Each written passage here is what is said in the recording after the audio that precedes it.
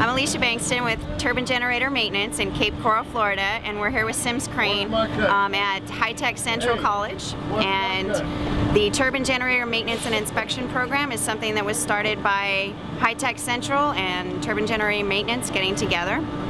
And here we're unloading the 2.5 megawatt turbine generator, the steam.